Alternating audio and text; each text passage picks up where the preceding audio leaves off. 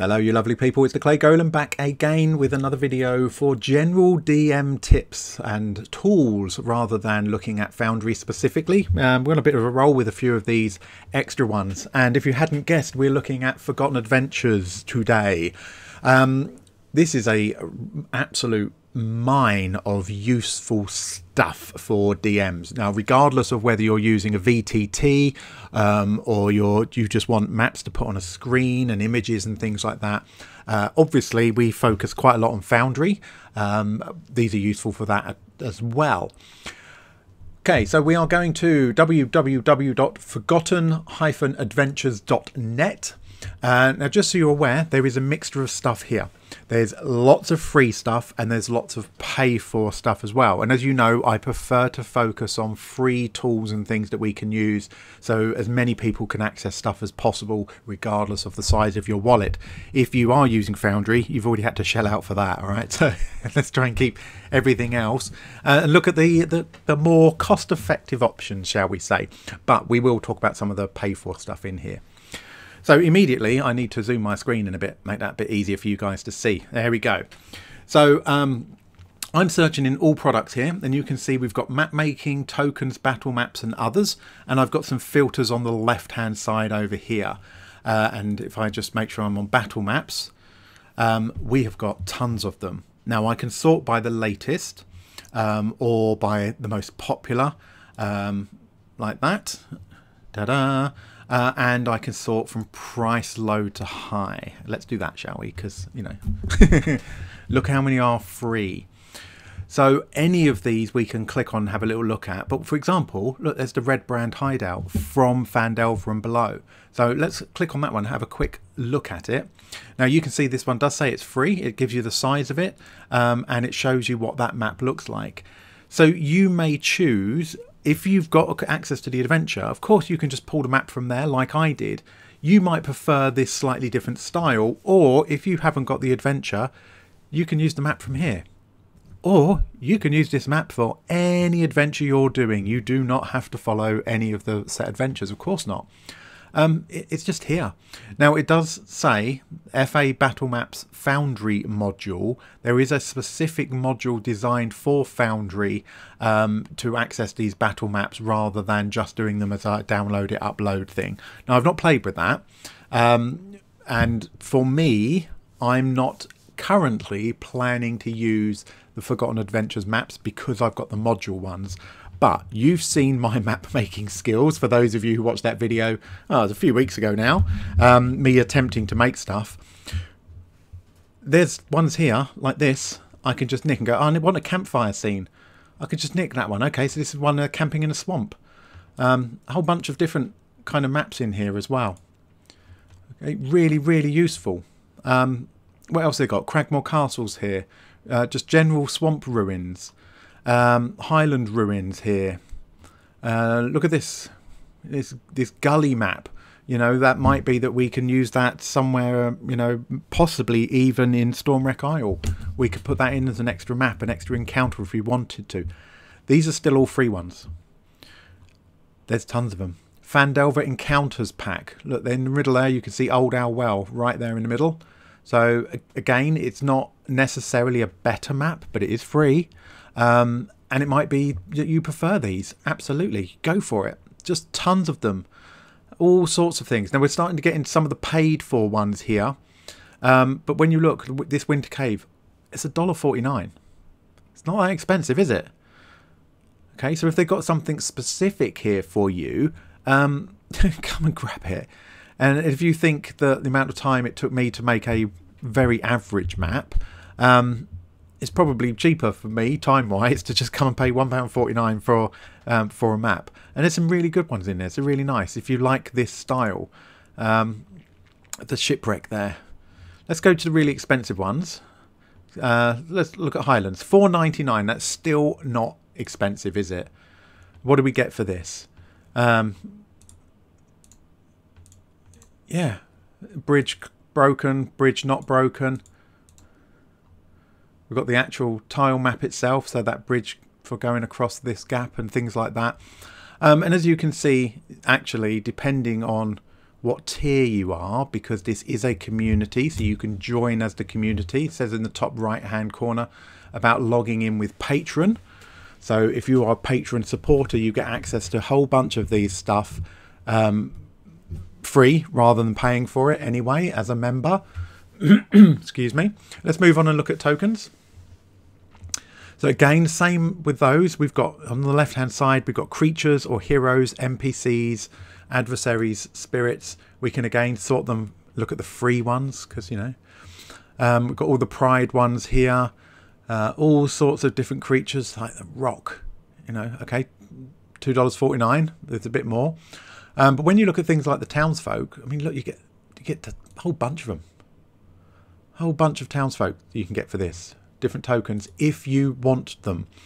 For me personally, I'm not a huge fan. I get it, and they're really good. I'm not a huge fan of this top-down kind of style. Um, that's just me. that's just me.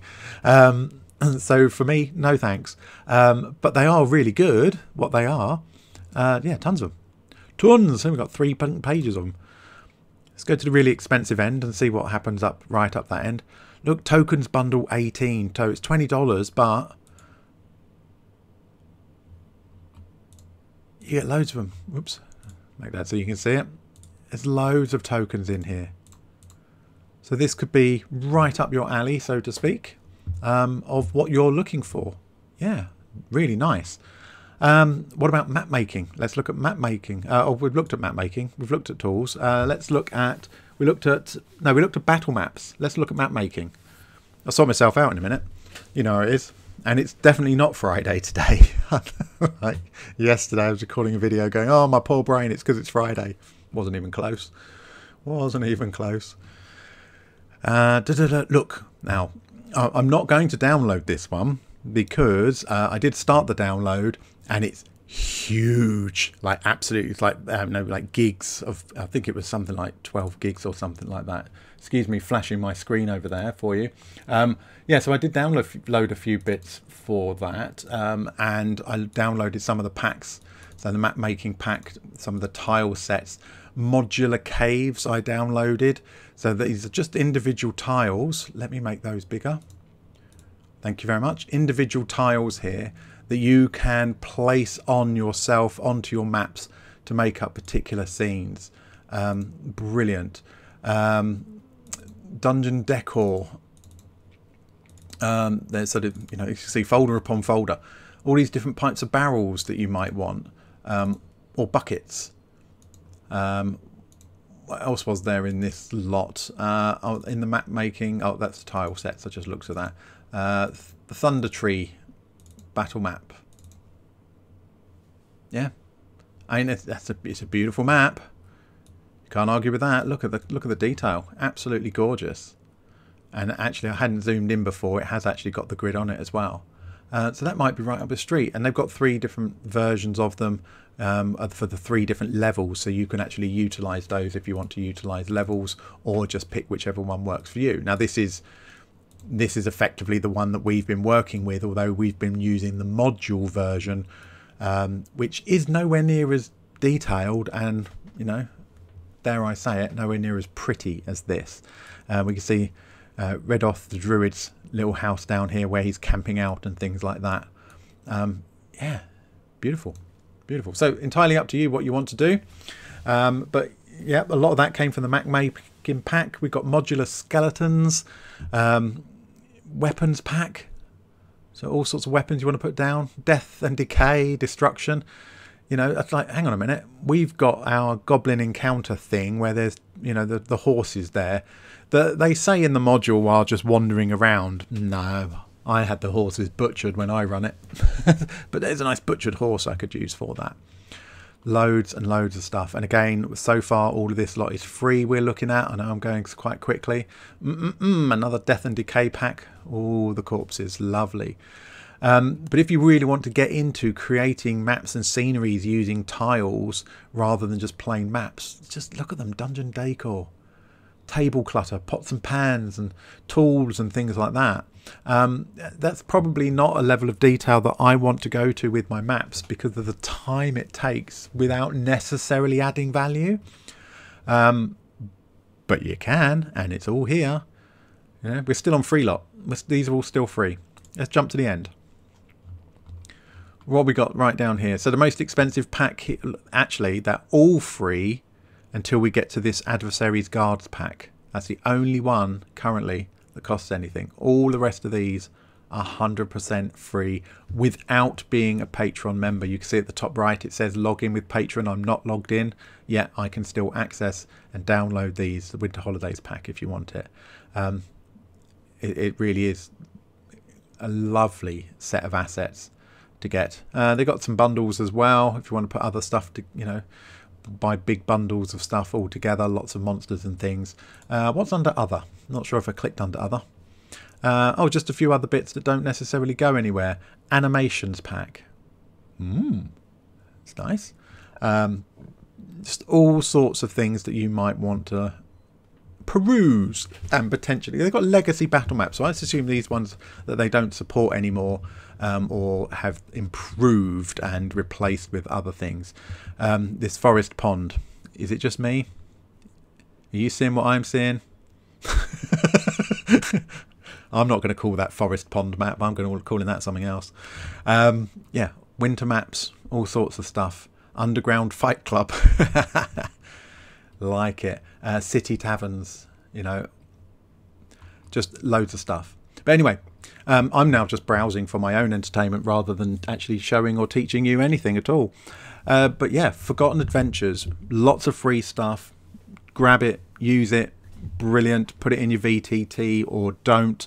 Um, you know, if you want, really wanted to, I don't suppose there's any reason you couldn't print these out and have them laminated if that's your play style.